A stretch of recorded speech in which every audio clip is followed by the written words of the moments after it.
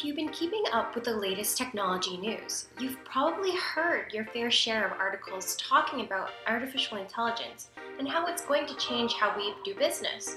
In today's world, we can talk to our phones through services like Siri, Google, or Cortana to make reminders, calendar events, call friends, and even make purchases. The ability to decipher our words into actions is essentially based on the artificial intelligence application known as Natural Language Processing, or NLP for short. Stay tuned as we talk to a very special guest about NLP, artificial intelligence, and how this will impact marketers and their customers on this episode of the Content Marketing for the Future podcast.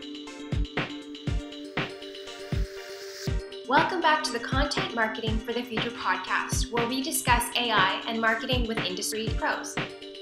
Today, we're sitting down with Luca, the CMO of Expert System. With a company that continues to expand worldwide with their vision of producing applications in language technology, you can bet Luca will know a thing or two about using advances in technology to better your communications. So, without further ado, let's get this interview started. When you think of natural language processing in real life, you can connect it to when you ask Siri or Google or even Cortana something on your smartphones. But what is natural language processing, or better known as NLP, and why do you think we're only hearing about it now?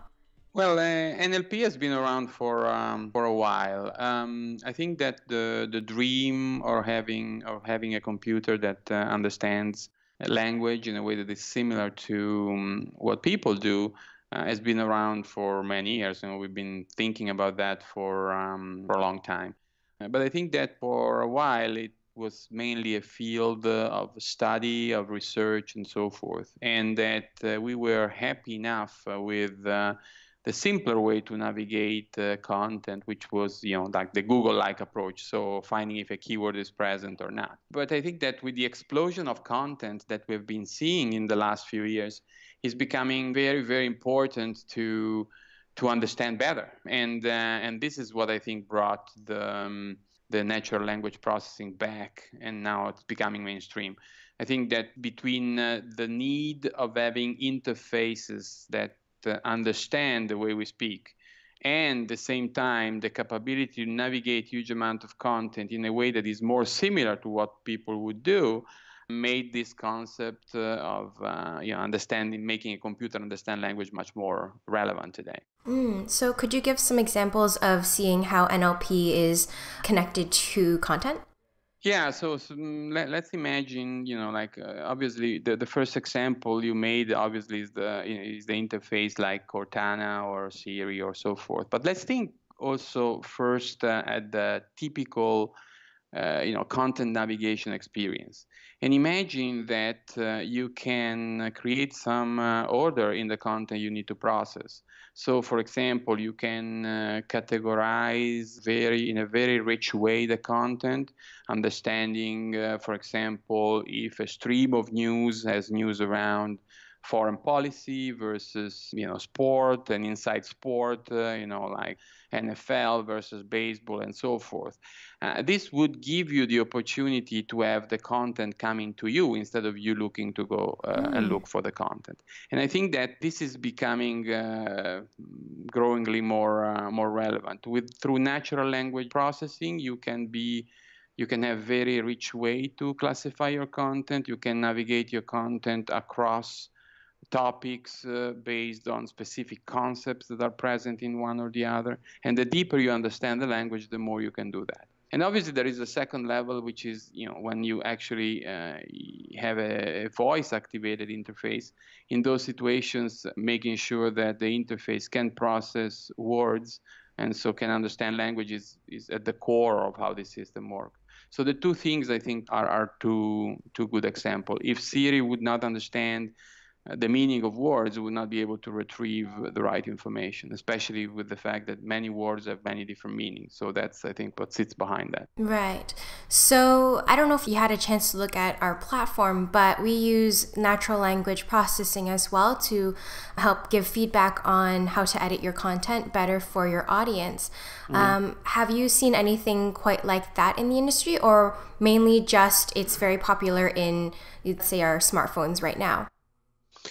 Well, I think uh, I think it's something that will become uh, is becoming actually uh, you know um, highly highly highly relevant. You know, being making sure that uh, you can understand the intent of a content and retrieve related content in an intelligent way is becoming i think very very important and it has different kind of applications so mm-hmm. in addition to the content you create think about the world of um, you know online advertising for example okay. being able to link to a content the the most relevant you know advertising i think it's something that is becoming more and more relevant uh, or making sure at least not to connect the wrong the wrong content so basically giving out the right message to the right people and not exactly. upsetting anyone exactly exactly exactly okay so what makes expert system different than other language processing softwares um, from the beginning, we've been around for many years, um, and uh, you know we were mainly in Europe for the first years of our history, and then now we moved to the to North America.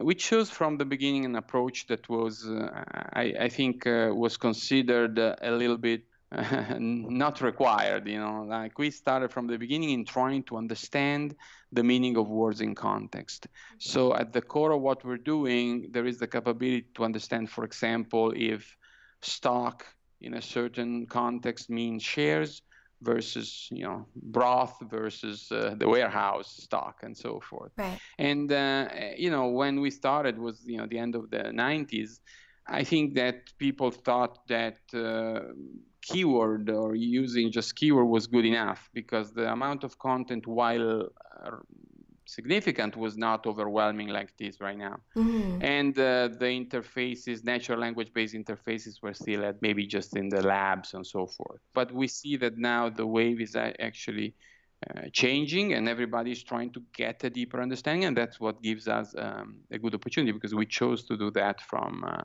from the beginning. So, what made you see that you had opportunity in North America and not just in Europe? yeah, well, uh, obviously, North America is um, from any point of view, is uh, much more prone to innovation and ready for innovation. Mm. And um, so we we thought uh, that uh, the, the time for adoption was a little bit ahead of time in uh, in uh, in the U.S. Uh, and and Canada compared to. to Europe, so we came. we did some some tests in certain vertical where we had already some good customers, and um, what we saw is that we were right. There is significant need or at least attention to innovation, mm-hmm. and several big customers were ready to to look into into doing things slightly different. And that's what generated the first uh, the first opportunities for us. And then we built on top of that, and today we have a presence in um, both in the U.S. and Canada. So, what sort of pushback have you seen from both Europe and North American clients when it came to trying to convince people that this was a necessary piece of software that they should be using?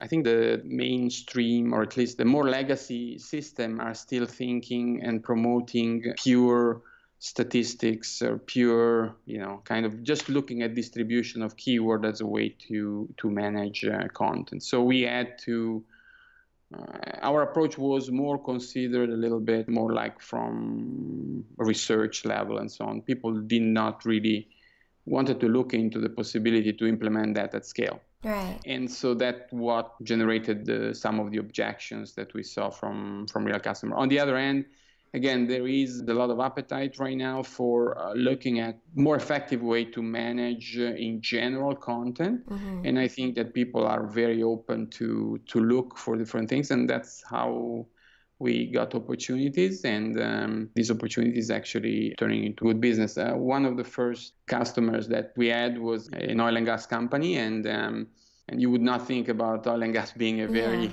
Interesting. Uh, exactly. Uh, looking for innovation, the reality is that we found very, very advanced ways because of the amount of information that these kind of companies are looking at. Very cool. So, specifically for marketers, how can natural language processing systems and artificial intelligence help with global clients and customer feedback data? Yeah, exactly. I think the customer feedback is really a core, core element if you consider that through natural language processing and through, in general, natural language interfaces, you establish a new way, a new channel of communication with the customers. Okay, so customers uh, are not forced, uh, as they were in the past, if they want to talk to you, to just go through a call center. They know that they can use a mix of uh, digital channel to connect. Could be text messages, could be you know a box on the website, right. could be email. By making all these channels available, what you're actually achieving is that small incremental in your cost you get a lot of data. You open up a way for a customer to tell you more things about their experience.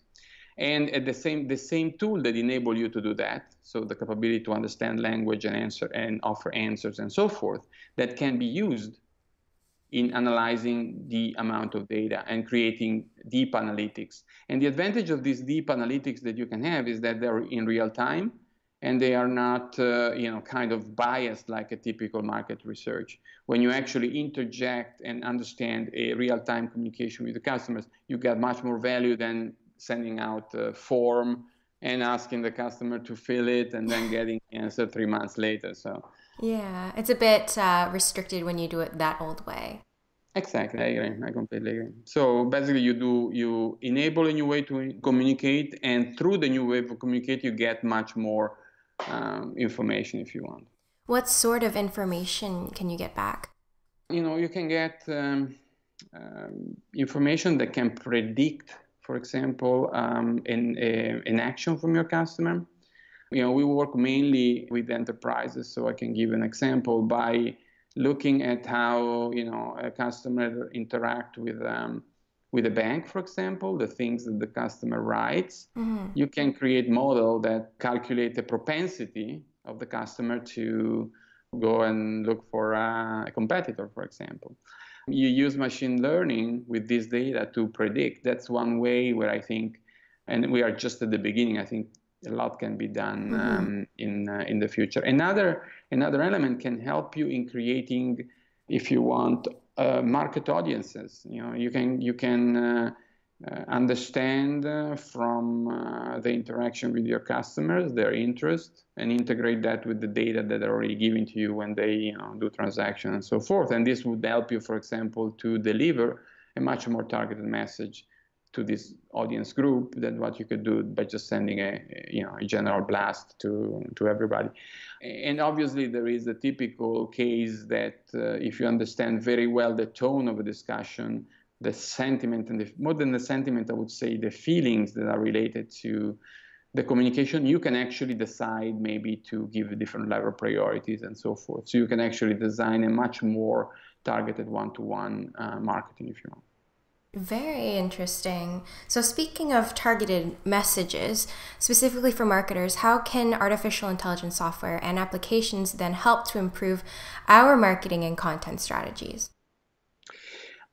I'll give you a, an example. Um, we have done, um, as a company, we have also a spin off of a company you know, that uses our core technology to uh, design. Uh, uh, if you want uh, online uh, marketing, or, sorry, online advertising campaigns.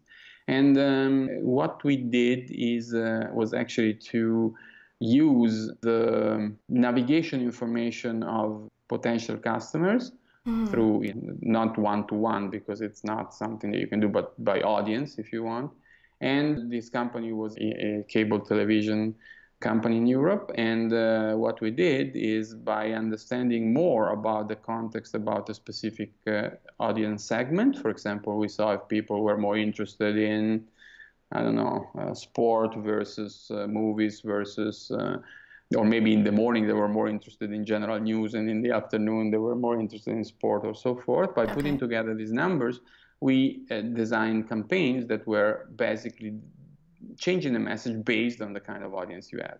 Oh. So it's uh, it's uh, you know there, there's a lot of things you can do uh, through online advertising, through cookies and so forth. In this case, it was not cookies, but more just using the navigation information to to understand the interest. And and this is something you can do only if you can analyze in deep in the content. Interesting. So, with these softwares, you're able to unify your message and create the most effective message per channel. Exactly. You Very can uh, cool, uh, you yeah. can understand uh, the channel, you can understand the audience segment, and then based on that, you can, if you want, uh, target with with copy or content that is much more. Uh, I think that basically generate more in potential interest in uh, India. And and we know that everybody is competing for interest right now. Mm-hmm. So if you mm-hmm. can just make your message slightly different or slightly more appropriate, I think you have an edge. So that edge, what kind of return have your clients seen by implementing these uh, techniques? I think that the first layer you see in terms of return is definitely in the automation. You know, like uh, if you enable a, um, let's say, a natural language uh, based self-help uh, on a website or something like that, you mm-hmm. know that the first gain you have is that the cost of serving the customers decreases because you can automate pieces of that. Right so you, you have that first return usually when I when I talk to potential customers you have to count on that as being your foundation. And then uh, how much you can get in terms of uh, top line uh, return or generating more revenue it really depends on how committed you are to take this data and and uh, and work on predictive models. So i think that uh, the worst case is that you get you know good return from automating, but I think that the really long-term play is that you can uh, increase uh, your revenue by, you know, we talked about marketing, but sometimes is uh, sometimes is marketing, sometimes it's just customer satisfaction. So you can basically serve your customer better. And I think that we are still at the beginning there, but I think there's a lot of room in the next months. Mm-hmm.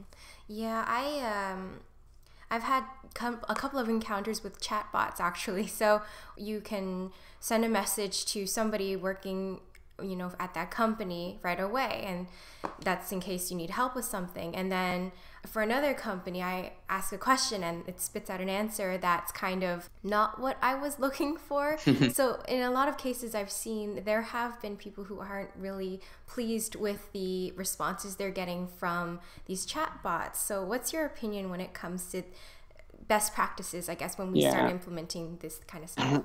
Uh, yeah, I think that the, as usual, lots is around the level of commitment and uh, how much uh, you're focused in designing the user experience you want.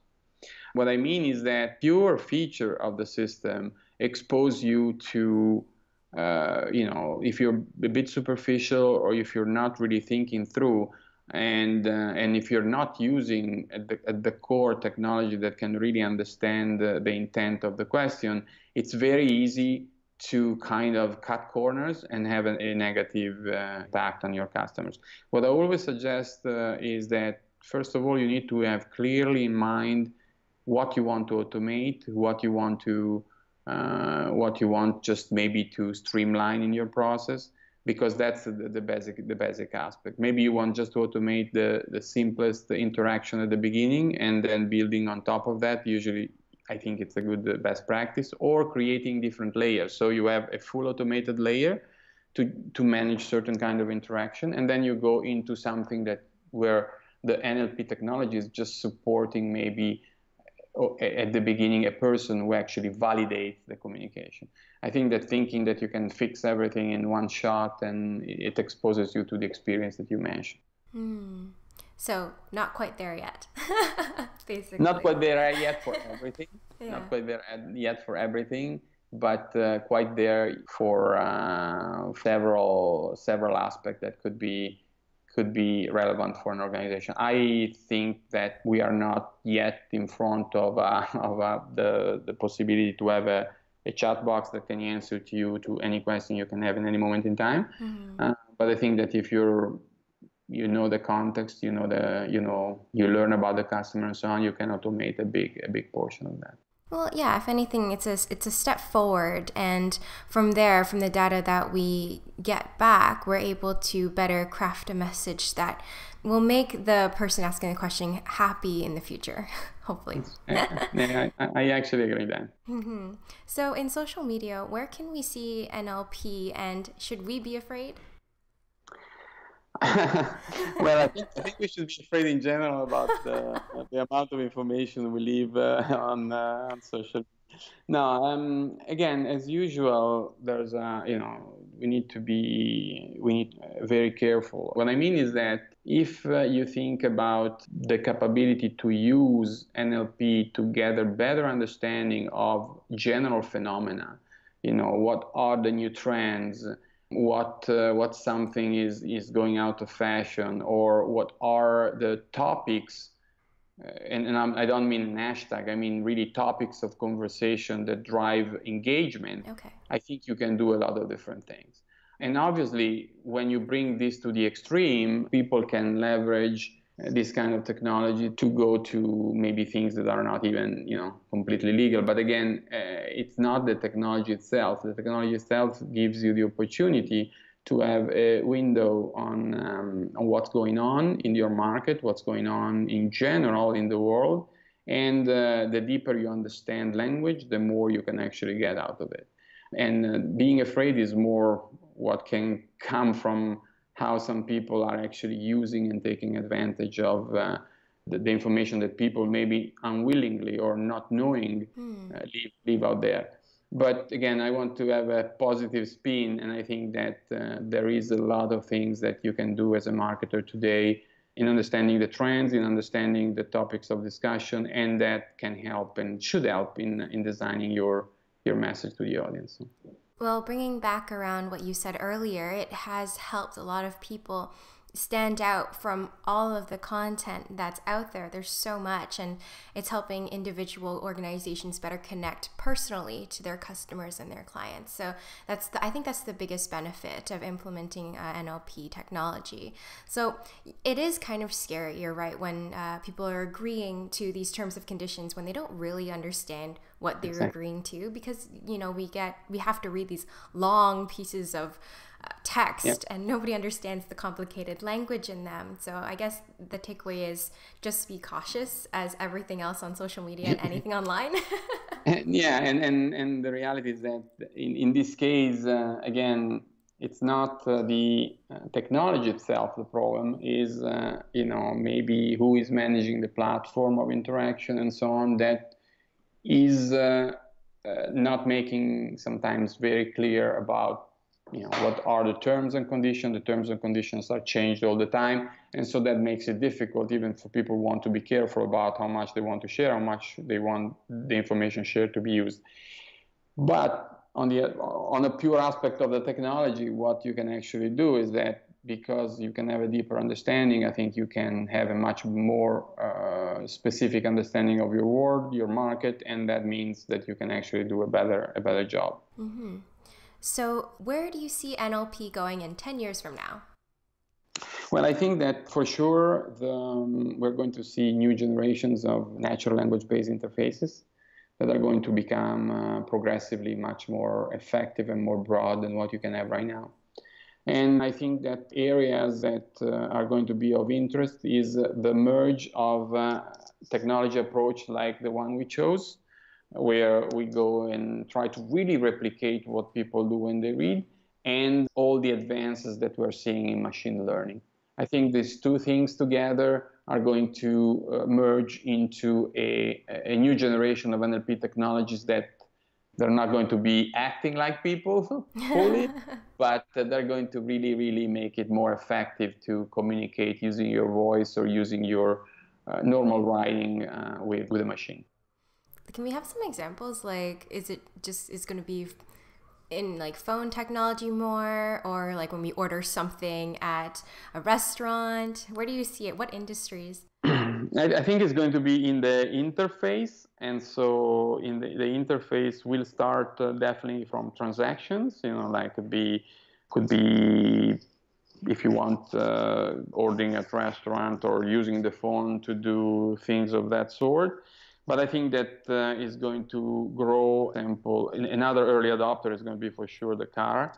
In the car industry, um, you know, using voice to control the whole vehicle and, and so forth, instead of having to read 300 pages manual and then not understanding anything what needs to be done.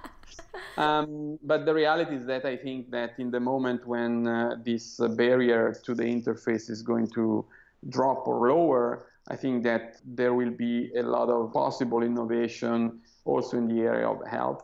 thinking about you know virtual doctors or at least uh, emergency calls to be managed in real time.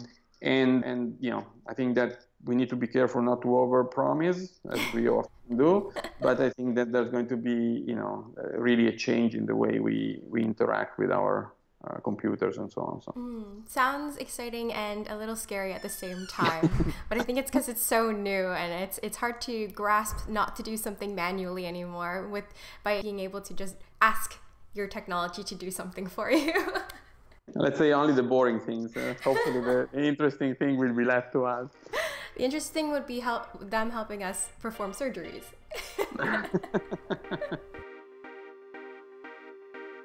Well, folks, are you excited or afraid of the AI and NLP evolution that's happening as we speak?